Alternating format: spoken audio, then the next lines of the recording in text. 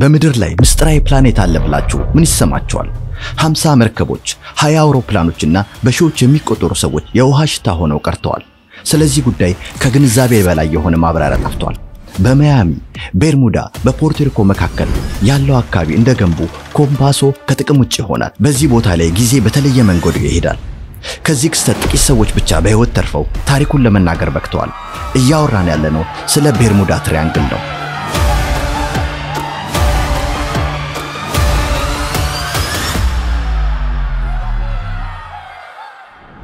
ጤና ይስጥልኝ ውድ ተመልካቾች፣ እንደ አውሮፓውያን አቆጣጠር በ1945 December 5 ከሰዓት በኋላ 2 ሰዓት ከ10 ደቂቃ ላይ አምስት ቶርፒዶ ቦምብ የሚጥሉ የአሜሪካ የባህር ኃይል አውሮፕላኖች ከፍሎሪዳ አኮብኩበው ጉዟቸውን ጀምረዋል። ይህ ተልዕኮ በረራ 19 ተብሎ ይጠራ ነበር። የበረራው ዓላማ የተለመደ የሶስት ሰዓት መደበኛ ስልጠና ተልዕኮ እንጂ ሌላ ምንም ልዩ ነገር አልነበረውም። በአውሮፕላን ውስጥ 14 የበረራ አባላት ነበሩ።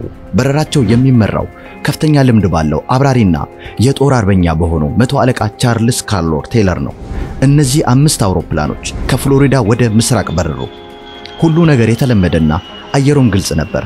ነገር ግን አውሮፕላኖቹ በረራቸውን ከጀመሩ ከሁለት ሰዓት በኋላ የቡድናቸው መሪ ቻርልስ ኮምፓሱ ድንገተኛ ችግር እንዳጋጠመው አሳወቃቸው። ጠቋሚ ኮምፓሳቸው በድንገት መስራት አቆመ። ከዚያም የመጠባበቂያ አቅጣጫ ጠቋሚ ኮምፓሳቸውን አወጡ።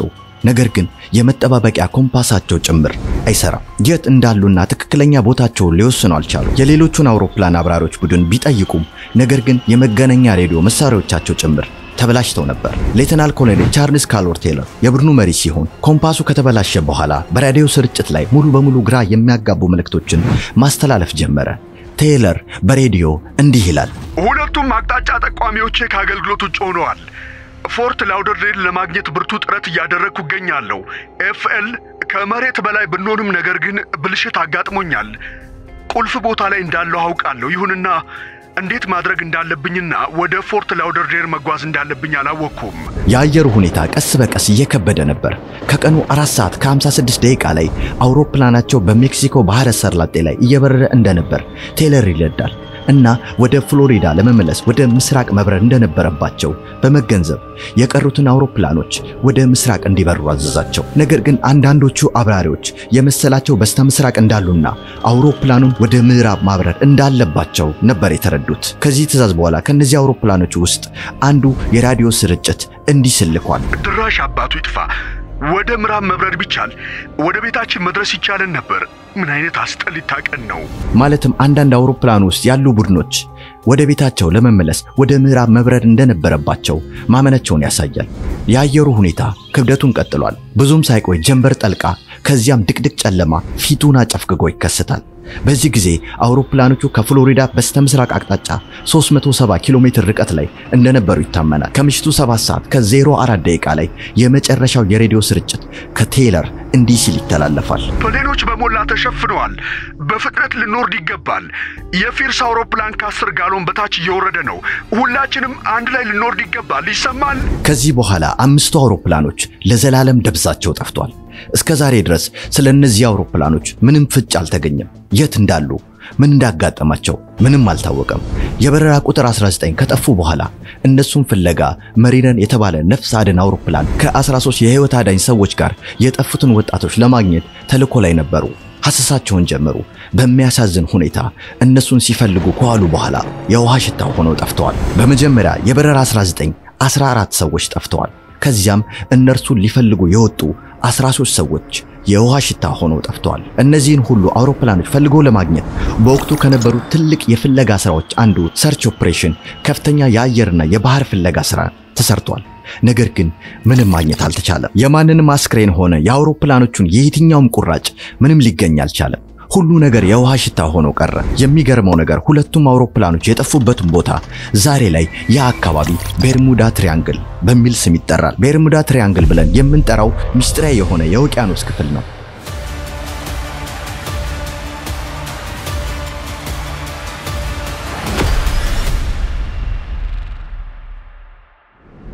እዚህ ቦታ ላይ ከመቶ በላይ አውሮፕላኖችና ሦስት ሺህ መርከቦች ሄደው የውሃ ሽታ ሆነው ጠፍተዋል። ፈጽመው አልተገኙም። ይህ አካባቢ በአሜሪካ ውስጥ ከፍሎሪዳ መካከል ተነስቶ መስመሩ ከፖርቶሪኮ ጋር ተገናኝቶ ወደ ሰሜን የምትገኘው ደሴት ቤርሙዳ ጋር እንደዚህ ባለ ሶስት ማዕዘን ምስል ይሰራል። በአጠቃላይ ይህ ቦታ ከ500 ሺህ ኪሎ ሜትር በላይ ስፋት ያለውን ቦታ ይሸፍናል። የቤርሙዳ ትሪያንግል አፈታሪኮች፣ ተረቶችና ትርክቶች ከ500 ዓመት በላይ የተቆጠሩ ናቸው። በ1492 ክርስቶፎር ኮሎምቦስ አዲሱን ዓለም ፍለጋ ሲነሳ በዚያ አካባቢ በሚያልፍበት ወቅት የያዘው ኮምፓስ መስራት አቆመ። ከዕለታት በአንዱ ሌሊት ደግሞ ከመርከቧ ውስጥ ወደ ሰማይ ሲመለከት አንድ ባዕድ የሆነ ከሰማይ እየተምዘገዘገ የሚመጣ ብርሃን አየ። የተመለከተው ነገር የእሳት ኳስ የሚመስል እንግዳ ብርሃን ነበር። ያ የእሳት ኳስ ከሰማይ ወደ ውቅያኖስ ውስጥ ሲወድቅ ተመለከተ። የዚህ ቦታ ምስጢራዊነት ከዚህ ጊዜ ይጀምራል። በቀጣዮቹ ጥቂት ዘመናት ለዚህ አካባቢ ብዙ ስሞች ወጥተውለት ነበር። የአትላንቲኮ መቃብር፣ የጥፋት ባህር፣ የአውሬው መቃብር። እነዚህ ስሞች በ18ኛውና በ19ኛው ክፍለ ዘመን ላይ ለቦታው መጠሪያ የዋሉ ነበሩ። ነገር ግን በ1964 እንደ አውሮፓውያን አቆጣጠር አርጎሲ በተባለው መጽሔት ላይ ገዳይ ቤርሙዳ ትሪያንግል የሚል ርዕስ በቪንሰንት ኤች ጋርዲስ አንድ ጽሑፍ ተከትበው ነበር። የዛኔ ነው ቤርሙዳ ትሪያንግል የሚል ስያሜ በ1964 ለመጀመሪያ ጊዜ ጥቅም ላይ የዋለው። በዚህ ጽሑፍ ውስጥ በቤርሙዳ ትሪያንግል ባለፉት በርካታ አስርት ዓመታት ብዙ ነገሮች መጥፋታቸው ተዘግቧል። ጸሐፊው ሁሉንም ነጥቦች ለማገናኘት ሞክሮ በዚህ የውቅያኖስ አካባቢ ልዩ የሆነ ነገር እንዳለ በመናገር የሆነ አንዳች ምስጢር እንዳለ፣ በዚህ ምክንያት ብዙ አውሮፕላኖችና መርከቦች እንደጠፉ ጽፎ ነበር። ምንም እንኳን ለምን ይህ ክስተት እንደተከሰተ በጽሑፍ ውስጥ ምንም ማብራሪያ ባይኖረውም፣ ነገር ግን የቤርሙዳ ትሪያንግል እንቆቅልሽ በወቅቱ በዚያ ዘመን በጣም ዝነኛ እንዲሆን አድርጎታል። በጣም ተወዳጅ ከመሆኑ የተነሳ ብዙ መጽሐፍ ተጽፈዋል። ብዙ ፊልሞችና የኮምፒውተር ጌሞች ተሰርተዋል። ቤርሙዳ ትሪያንግል ላይ ሙዚቃዎችም ተሞዝቀዋል። ስለ አንዳንድ ሌሎች ክስተት ብናወራ በ1918 ሌላም አስፈሪ ክስተት ተከስቶ ነበር። የዩኤስ ሳይክሎፕ መርከብ ነበር። ይህ መርከብ በወቅቱ ከነበሩት የአሜሪካ የባህር ኃይል መርከቦች አንዱና ትልቁና ፈጣኑ መርከብ ነው። ለአሜሪካ የባህር ኃይሉ መርከብ በጣም አስፈላጊ ንብረት ነበር። በተለይ አሜሪካ በአንደኛው የዓለም ጦርነት መሳተፍ የጀመረችበት ጊዜ ነበር። እናም በዚያን ወቅት ወታደሮችንና የድንጋይ ከሰልን ለማጓጓዝ ያገለግል ነበር። እንደ አውሮፓውያን አቆጣጠር መጋቢት አራት ቀን 1918 306 ሰዎች በዚህ በዩኤስ ሳይክሎፕ መርከብ ተሳፍረው ዋሽንግተን አቅራቢያ ከምትገኘው ዌስት አንዲል ባልቲሞር ከምትባል ከተማ ወደ ብራዚል ጉዟቸውን ጀመሩ። ከሰዎቹ ባሻገር ይህ መርከብ 11000 ቶን ማንጋዚን ጭኖ ነበር። ይህ ጉዞ ዘጠኝ ቀናትን የሚፈጅ ነበር። ከመርከቡ መነሳት በኋላ ሁሉ ነገር ጥሩ ነበር። አየሩም ግልጽ ነው። በሚነሱበት ጊዜ መርከቡ እንዲህ በማለት መልእክት ይልካል፣ weather fair all well። ነገር ግን በሚያሳዝን ሁኔታ ይህ መልእክት የዚህ መርከብ የመጨረሻው መልእክት ነበር። ከዚያም ይህ መርከብ ጉዞውን ከጀመረ በኋላ ከሱም ምንም መልእክት ሳይሰማ ጠፋ። ይህ ክስተት ሁሉንም አስደነገጠ። ከዩናይትድ ስቴትስ የባህር ኃይል መርከቦች አንዱ የሆነው ይህ ትልቅ መርከብ በድንገት እንዴት ሊጠፋ ቻለ? ይህ ክስተት አስደንጋጭና ሚስጥራዊ ነው ብላችሁ ካመናችሁ ከዚህ የበለጠ አስፈሪና ልብን የሚያርድ ክስተት ያስተናገደው የኤለን ኦስቲን መርከብ ሚስጥር ነበር። በ1881 210 ጫማ ርዝመት ያለው ኤለን ኦስቲን ብለው የሰየሙት መርከብ ከለንደን ወደ ኒውዮርክ በመጓዝ ላይ ነበር። በዛ ዘመን የመርከብ ጉዞ የተለመደ ነው። በወቅቱ በርካታ መርከቦች ይህንን ጉዞ ያደርጉ ነበር። ነገር ግን ኤለን ኦስቲን በመንገዱ ላይ ማንነቱ ያልታወቀ መርከብ ከቤርሙዳ ትሪያንግል አካባቢ ያጋጥማቸዋል። ይህ ማንነቱ ያልታወቀ መርከብ ከውጭ ስናየው የተለመደ መርከብ አይነት ይዘት አለው። ነገር ግን በዚህ መርከብ ላይ ምንም አይነት የሰው ልጅ ዱካ የለም። መርከበኞቹ አልነበሩም፣ ሰዎችም አልነበሩ። የኤለን ኦስቲን ካፒተን የመርከቡ ሁኔታ ለማየት ወስኖ ወደ መርከቡ ቀረበ። በመጀመሪያ የራሱን መርከብ ከዚህ እንግዳ ከሆነው መርከብ ጋር አጠቃቅቶ ካቆመ በኋላ ምናልባትም ከዚህ እንግዳ ከሆነ መርከብ የሆነ ሰው ወጥቶ ካየው ካገኘው ብሎ ሁለት ቀን ሙሉ ጠበቀ። ከጥበቃው በኋላ ግን ምንም ምላሽ አልነበረም። ማንም ሰው እንደሌለ የማንንም ፈለግ እንዳላየ ሲያረጋግጥ ካፒቴኑ ማንነቱ ወዳልታወቀው መርከብ ውስጥ ገባ። በዚህ አዲስ መርከብ ላይ ብዙ ዕቃዎች ተቀምጠው ነበሩ። በሚደንቅ ሁኔታ ግን ሁሉ ነገር ተሰናድቶ ተስተካክሎ መሆን ያለበት ቦታ ላይ ነበር የተቀመጠው። በዚያን ጊዜ ሰዎች የባህር ላይ ወንበዴዎች ወይም pirates ይፈሩ ነበር። ምክንያቱም ወንበዴዎች ጥቃት በማድረስ ዘረፋ ስለሚፈጽሙ። ይህ ማንነቱ ያልታወቀ መርከብ ግን ይህን ጥቃት አልደረሰበትም። ምክንያቱም የዚህ መርከብ ውድ ዕቃዎች ሁሉም በየቦታቸው አሸብርቀውና አጊጠው በቦታቸው ላይ ተሰይመዋል። በዚህ ምክንያት የኤለን ኦስቲን ካፒቴን የተወሰኑ ሰራተኞቹን በመርከቡ ላይ ላከ። ከዚያም ልክ እርሻ እንደሚታረስበት በሬ መርከቡን ጠምደው በሁለቱም መርከቦች ጉዟቸውን እንዲቀጥሉ አበክሮ ነገራቸው። በመጀመሪያዎቹ ሁለት ቀናት ሁለቱም መርከቦች ያለምንም እንቅፋት ወደ መዳረሻቸው እያመሩ ጉዟቸውን ቀጠሉ። በኋላ ግን ያልታሰበ ማዕበል ንፋሱን ጨምሮ ፊቱን አንጨፋጎ መጣና የሁለቱን መርከብ መንገድ ለያየባቸው። ከዚያም ማንነቱ ያልታወቀው መርከብ ጠፋ። አውሎ ንፋሱ ካበቃ በኋላ የኤለን ኦስቲን ካፒቴን መርከቧን ለመፈለግ በአጉሊ መነጽር ሲመለከት መርከቧን በተወሰነ ርቀት አየ። ወደ መርከቧም ተጠጋ። አጠገቡ በደረሰ ጊዜ ግን በመርከቧ ውስጥ አስገብቷቸው የነበሩ መርከበኞች ዱካቸው አልተገኘም። የት ሄዱ? ምን አጋጠማቸው? አናውቅም። ነገር ግን መርከቧ አሁንም አለች፣ አልጠፋችም። የኤለን ኦስቲን ካፒቴን መርከቧን ከሱ ጋር ለማምጣት በድጋሚ ሞክሮ እንደነበር ይነገራል። መርከቧን እንዲመሩ ወይም እንዲዘውሩ የተወሰኑ ተጨማሪ መርከበኞችን ላከ። ነገር ግን እንደገና ከጥቂት ቀናት በኋላ ሌላ ማዕበል ተነሳ።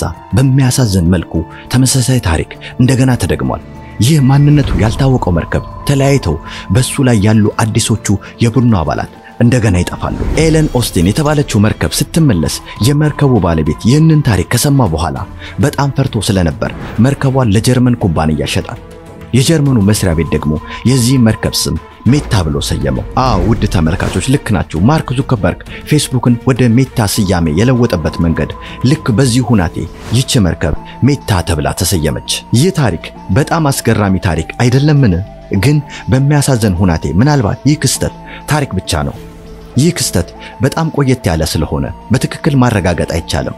በታሪክ ውስጥ በጣም ተወዳጅ የሆኑ ታሪኮች ለትውልድ የሚተላለፉበት መንገድ ግን ይህንን ክስተት በትክክል ሊያረጋግጥ አይችልም። እነዚህን መሰል ታሪኮች legend ብለን እንጠራቸዋለን፣ አሊያም የከተማ አፈ ታሪኮች እንላቸዋለን። በርካታ ምክንያታዊ አስተሳሰብ ያላቸው ሰዎች የቤርሙዳ ትሪያንግል አሉባልታ አፈ ታሪክ ነው ይላሉ።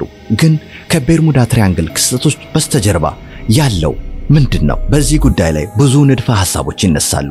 አንዳንድ ሰዎች ኤሊያኖችን ተጠያቂ ያደርጋሉ። መጻተኞች ወይም ኤሊያኖች መጥተው አውሮፕላኖችና መርከቦቹን እንደወሰዱ እነዚህንም ከነሱ ጋር አብረው እንደወሰዱ ይናገራሉ። አንዳንድ ሰዎች ደግሞ መርከቦች ከመጥፋታቸው በስተጀርባ ያለው ምክንያት ከውቅያኖሱ በታች አንድ ግዙፍ የባህር ጭራቅ አለ ብለው ያምናሉ። አንዳንድ ሰዎች ይህ የውቅያኖሱ እጅግ በጣም የተለየ አካባቢ ነው፣ አውሮፕላኖችና መርከቦች እዚህ ሰጥመዋል ይላሉ። እነዚህ ንድፈ ሐሳቦች በእውነት ያልተለመዱ ናቸው። ስለዚህ እኛ ትንሽ የበለጠ ሳይንሳዊ ንድፈ ሐሳብ ላይ በማተኮር አብረን እንዝለቅ። ከማብራሪያዎቹ አንዱ በመግነጢሳዊነት ወይም ማግኔቲዝም ላይ የተመሰረተ ነው። እንግዲያውስ ውድ ተመልካቾች አብራችሁ ናችሁ። እንግዲያውስ እዚህ ጋር በማስተዋል አብረን እንዝለቅ። እዚህ ጋር የምድር ሰሜን ዋልታና የማግኔቲክ ሰሜን ዋልታ ሁለት የተለያዩ ነጥቦች ናቸው። ስለዚህ በኮምፓስ ወደ ሰሜን ዋልታ ስንመለከት ኮምፓሳችን ወደ magnetic ሰሜን ዋልታ እያመለከተ ነው። ነገር ግን ትክክለኛው የሰሜን ዋልታ ቅርብ የሆነው ቦታ ነው። ጂኦግራፊያዊ ሰሜን ዋልታ በመባል ይታወቃል። በዚህ ፎቶ ላይ ያለውን ቀስት ብንመለከት በመግነጢሳዊ እና በጂኦግራፊያዊ ሰሜን ዋልታ ምሰሶች መካከል ያለው ልዩነት የምትመለከቱት ነው። ለዘመናት ሲደረግ እንደነበረው በተለምዶ ሰዎች ኮምፓስ ሲጠቀሙ ይህንን ጽንሰ ሐሳብ በግምት ውስጥ ያስገባሉ። ነገር ግን በሚያስደምም ሁኔታ በምድር ላይ አንዳንድ አካባቢዎች አሉ። በእነዚህ ቦታዎች ላይ ኮምፓሶችን ከተጠቀሙ መግነጢሳዊ ወይም ማግኒዚየምና ጂኦግራፊያዊ የሰሜን ዋልታ በተመሳሳይ ቦታ ይገኛሉ። ይህ የሚከሰትባቸው ቦታዎች የ agonic መስመር በመባል ይታወቃል። እነዚህ የ agonic መስመሮች በጊዜ ሂደት ይቀያየራሉ፣ ግን ላለፉት ከ200 እስከ 300 ዓመታት የዜሮ ዲግሪ መስመር አካባቢ ላይ በቤርሙዳ ትሪያንግል አካባቢ ነበር። ይህ በመሰረቱ ግራ መጋባትን ይፈጥራል። በዚህ አካባቢ ላይ የሚቀጥለው እንግዳ ነገር ይህ ነው። በቤርሙዳ ትሪያንግል ውስጥ ያለው ቦታ በሳይንሳዊ ማብራሪያ ጥልቀት የሌለው ነው። በሳተላይት ከላይ ካርታውን ብንመለከት ባሃማስን እና የካሪቢያን ደሴቶች በዙሪያቸው በ turquoise ቀለም የተከበቡ ናቸው። በውቅያኖስ ውስጥ ያለው ይህ ቦታ ረጅም ርቀትን ያካልላል። የያዘው የውሃ መጠን ብንመለከት ብዙ ጥልቀት የሌለው ውቅያኖስን ማየት እንችላለን። በጥቁር ሰማያዊ ቀለም የሚወክለው ይህ ደግሞ በሳተላይት ሲታይ ጎልቶ ይታያል። በዚህ ምክንያት እንዲህ ይባላል። በጥንት ጊዜ መርከቦች ወደዚህ አካባቢ ሲመጡ ለመንሳፈፍ ስለማይመችና ጥልቀት በሌለው ውሃ ምክንያት የውሃ ሽታ ሆነው ቀርተዋል ይባላል። እዚህ አካባቢ ላይ ከውቅያኖሱ በታች ያለው መሬት እዚህ ቦታ ላይ የተደበቀው ሹል ክፍል እንዳለና ከፍተኛ የሆነባቸው ቦታዎች ነበሩ። ስለዚህም መርከበኞች በአካባቢው ሲሄዱ በግልጽ አይታያቸውም። በዚህ ምክንያት እጣ ፈንታቸው እዛው ተጣብቀው መቅረት ነበር። ሶስተኛው ማብራሪያ ደግሞ ይህ አካባቢ በዓለም ላይ ካሉት ከፍተኛ አውሎ ንፋሶች ከሚያስተናግዱ ወይም ሀሪኬን ከሚስተናገድባቸው ቦታዎች አንዱ ነው። አብዛኞቹ አውሎ ንፋሶች የሚከሰትባቸው ሀገሮች ደረጃ ከሰጠናቸው ቻይና ቁጥር አንድ ላይ ትገኛለች። ከዚያም አሜሪካ ሁለተኛ ደረጃ ላይ ትከተላለች። ስንቀጥልም ኩባ ነች። ኩባ በዚህ አካባቢ ላይ ነው የምትገኘው። ተመልካቾች አሜሪካ ውስጥ በብዛት ሃሪኬን ወይም አውሎ ንፋስ የሚከሰትባቸው የየትኞቹ ግዛት ናቸው? አዎ ልክ ናችሁ። በአብዛኛው አውሎ ንፋስ የሚከሰተው በፍሎሪዳ ውስጥ ነው። ባሳለፍናቸው ሳምንታት ተከስቶ የነበረውን ሃሪኬን የምታስታውሱት ነው። ይህ አካባቢ ከፍተኛ አውሎ ንፋስ ያስተናግዳል። ከዚያም ከዚያም ውሃ በብዛት እንዲከሰት ትልቅ አስተዋጽኦን ያደርጋል። አራተኛው ማብራሪያ methane hydrate የሚባል ነው። methane hydrate ማለት የቀዝቃዛ ውሃና የተፈጥሮ ጋዝ ጥምረት ሲሆን ይህም የኃይል ምንጭ ሊሆን ይችላል ወይም ለአየር ንብረት ለውጥ አስተዋጽኦ ያደርጋል። ስለዚህ በውቅያኖስ ውስጥ አንዳንድ አካባቢ አሉ ትልቅ methane hydrate ያላቸው። በአውስትራሊያ ውስጥ በዚህ ጉዳይ ላይ ሳይንቲስቶች የላቦራቶሪ ሙከራዎችን አድርገዋል። በስክሪኑ ላይ እንደምትመለከቱት በውሃ ውስጥ ከመጠን በላይ ያለፈ የሚቴን አረፋዎች ሲኖሩ የውሃው መጠን እየቀነሰ ይሄዳል። ከዚያም እንደምትመለከቱት የመርከቡ ተንሳፋፊነት በባህሩ ላይ ሊቆይ አይችልም። እናም መርከቧ ትሰምጣለች። ለምሳሌ በውሃ ውስጥ ሚቴን ካለ በውቅያኖስ ውስጥ የሚቴን ፍንዳታዎች ካሉ እነዚያ ፍንዳታዎች የጭቃ እሳተ ገሞራ በመባል ይታወቃሉ። እሳተ ገሞራዎች በውሃ ውስጥ በሚፈነዱበት ጊዜ ከፍተኛ ሚቴን ያመነጫሉ። በዚህ አጋጣሚ እንደ መጥፎ ዕድል ሆኖ አንድ መርከብ በአካባቢው ላይ በሚሄድበት ወቅት ከተከሰተ ከዚያም መርከቡ በቅስፈት ወዲያውኑ ወደ ውቅያኖስ ውስጥ ይሰምጣል። ያለምንም ማስጠንቀቂያ በድንገት ስለሚፈጠር ስለሰጠመው መርከብ ምንም ማወቅ አልቻለም። ይህ በእርግጥ አስደሳች ሳይንሳዊ ማብራሪያ ነው። ነገር ግን በቤርሙዳ ትራያንግል ውስጥ በጠፉ መርከቦች ሁሉ ቀጥተኛ ማስረጃ አልተገኘም። ምክንያቱም ማንኛውም ክስተት በ methane hydrate ምክንያት ነው ለማለት ይቸግራል። በእውነቱ ከሆነ ይህ በቀላሉ በሳይንስ የተረጋገጠ ነው። ነገር ግን የማንኛውም መርከብ መጥፋት ምክንያት እስካሁን ምንም ፍንጭ አልተገኘለትም። አምስተኛው ማብራሪያ በእኔ አስተያየት በጣም አስፈላጊ ነው። ምክንያቱም ይህ ከሰው ልጅ ስነ ልቦና ጋር የተያያዘ ነው። የዚህ ማብራሪያ ስምም Baader Meinhof effect ወይም the frequency illusion ተጽዕኖ ነው። የ Baader Meinhof effect ወይም የ frequency illusion ማለት ስነ ልቦናዊ ነገሮችን የበለጠ ማስተዋል ስንጀምር፣ ከዚያም በአካባቢያችን ብዙ ነገሮችን ማስተዋል ስንጀምር ነው። ውድ ተመልካቾች ከቤተሰቡ ውስጥ የሆነ ሰው አዲስ መኪና ሲገዛ ያስተውሉ። የገዛው የመኪና ሞዴል ከገዛው በኋላ እናስተውለው ነበር። በሚቀጥለው ጥቂት ቀናት ወይም ወራት በመንገድ ላይ በነበርንበት ጊዜ ሁሉ የገዛነው የመኪና ሞዴል የበለጠና የበለጠ ማስተዋል አልጀመራችሁም? መኪናውን እየሾፈሩ በድንገት አንድ አይነት ሞዴል ያስተውላሉ። ሞዴሉን ከገዙ በኋላ ብዙ ሰዎች የእናንተ አይነት ሞዴል መኪና እንደገዙ ይሰማውታል። እንደ እውነቱ ከሆነ ልክ እንደ በፊቱ በመንገድ ላይ ያለው የመኪና ድግግሞሽ ብዙም አልተለወጠም። ከገዙ በኋላ የተለመደ ነገር ነበር። መኪናው ስለገዙት የበለጠ ማስተዋል ጀመሩ። ስለዚህም ስለ ቤርሙዳ ትሪያንግል ከላይ የነገርኳቸው ምሳሌ አይነት ተመሳሳይ ፍቺ ነው ያለው። ምንም እንኳ አንዳንድ አውሮፕላኖች፣ መርከቦች ቤርሙዳ ትሪያንግል ውስጥ ጠፍተዋል የሚለው እውነት ቢሆንም አስተውለን ከሆነ ግን ከቤርሙዳ ትሪያንግል ውጭ ያሉ ቦታዎች እንደዚህ ያሉ አውሮፕላኖችና መርከቦች መጥፋታቸው ይታወሳል። የዚህ የቅርብ ጊዜ ምሳሌ አንዱ የማሌዥያ አየር መንገድ በረራ የተሰወረበት ክስተት ነው። ይህ አውሮፕላን በቤርሙዳ ትሪያንግል አካባቢ አልጠፋም ነበር። ስለ ቤርሙዳ ትሪያንግል ሚስጥር ሰዎች ሲሰሙ በቤርሙዳ ትሪያንግል ዙሪያ ለተከሰቱ ክስተቶች እዚህ ቦታ ላይ ለጠፉ መርከቦች አስደንጋጭ ሁኔታ የበለጠ ትኩረት መስጠት ጀመሩ። እናም ከቤርሙዳ ትሪያንግል ውጪ ለተከሰቱ ተመሳሳይ ክስተቶች ግን ሰዎች ለነሱ እምብዛም ትኩረት አልሰጡም። ጋዜጠኛ ላሪ ኩሼ አንድ መጽሐፍ ከትበው ነበር፣ The Bermuda Triangle Mystery Solved፣ የቤርሙዳ ትሪያንግል ሚስጥር ተፈቷል በሚል ርዕስ እርሳቸው እዚህ መፍትሄ ላይ ደርሰዋል። እሳቸው በመጽሐፋቸው እንዳሉት ከሆነ በመጀመሪያ ላይ የተከሰቱ አንዳንድ ክስተቶች ቢኖሩም ነገር ግን ከጊዜ በኋላ የቤርሙዳ ትሪያንግል ሚስጥር ጎልቶ ሲወጣ አንዳንድ ሰዎች ታሪካቸውን ትርክት በሚመስል መልኩ መፍጠር ጀመሩ። የሚስጥራዊነት ቅመም እየቀላቀሉ ማውራት ጀመሩ እና አንዳንድ ታሪኮች ሙሉ በሙሉ የማይረቡና በትክክል አልተከሰቱም ብለዋል። በቪዲዮ መጀመሪያ ላይ የነገርኳችሁ የሄለን ኦስቲን ታሪክም ከነዚህ አፈ ታሪኮች ፈጠራዎች አንዱ ነው ተብሏል። የአሜሪካ ብሔራዊ የውቅያኖስና የአካባቢ አየር አስተዳደር እንዳሉት ከሆነ ቤርሙዳ ትሪያንግል ውስጥ የጠፉ አውሮፕላኖችና መርከቦች ምንም ማስረጃ የላቸውም ብለዋል። የአሜሪካ የባህር ጠረፍ ጠባቂዎች ይህንኑ ተናግረዋል። ቤርሙዳ ትሪያንግል ውስጥ የምናየው ምስጢራዊ መጥፋት ቤርሙዳ ትሪያንግል ውስጥ በተደጋጋሚ እንደሚከሰቱ ምንም ማስረጃ የለም። ዓለማችን ላይ ካሉ ከማንኛውም የውቅያኖስ አካባቢ ጋር ሲነጻጸር ተመሳሳይ ምስጢራዊነት መጥፋትን እናያለን። በሌሎች የውቅያኖስ አካባቢዎችም ልክ እንደዚሁ አይነት ክስተት ይፈጠራል። ይህ የሚያሳየው ስለዚህ ጉዳይ የአሜሪካ የባህር ጠረፍ ጠባቂዎች እውቅና እንደሌላቸው ነው። የአሜሪካ የባህር ጠረፍ ጠባቂዎች እንዲህ ሲሉ አክለዋል። The Coast Guard does not recognize the existence of so called Bermuda Triangle as geographic area of specific hazard to the ship or planes። እነሱ እንዳለው ከሆነ ይህ የቤርሙዳ ትሪያንግል አካባቢ እጅግ በጣም ትራፊክ የሚበዛበት ቦታ ነው፣ ማለትም የአውሮፕላኖችና የመርከቦች። ስለዚህም ይሆናል ብዙ አንዳንድ እንግዳ ነገሮች የሚከሰቱት ብለዋል። ከዚህ ውጭ ይሄ ቦታ ባሳለፍነው ሳምንት በፍሎሪዳ ከፍተኛ hurricane እንደተከሰተ ልክ እንደዚህ ሁሉ አልፎ አልፎ የሚከሰቱ ቦታ ስለሆነና ቦታው ጥምዝምዝ ውሃን ስለሚሰራ ነው። ስለዚህም የቤርሙዳ ትሪያንግል ጥያቄ የተመለሰላችሁ ይመስለኛል። ነገር ግን በዚያ አካባቢ ላይ በተደጋጋሚ አውሎ ንፋስ ቢኖርም WWF በ2013 ዝርዝር ጥናታቸውን ሲያካሂዱ እነርሱ እንዳሉ ከሆነ ለመርከብ የዓለማችን አስር በጣም አደገኛ የውሃ ቦታ ውስጥ ከአስሩ አደገኛ የውቅያኖስ ዝርዝር የቤርሙዳ ትሪያንግል አካባቢ በዝርዝር ውስጥ አልነበረም። በቀላል አነጋገር ከተነጋገርን ሚስጥራዊ የአውሮፕላኖችና መርከቦች መጥፋት ከቤርሙዳ ትሪያንግል ጋር ግንኙነት የለውም። አሁን እዚህ ጋር ትጠይቁ ይሆናል ክሪስቶፈር ኮሎምቦስ ወደ ውቅያኖስ ውስጥ ሲወድቅ ያየው የእሳት ኳስ ምን ነበር? የሳይንስ ሊቃውንት እንዳሉት ከሆነ እሱ በእርግጥም meteor ነው ብለው ያምናሉ።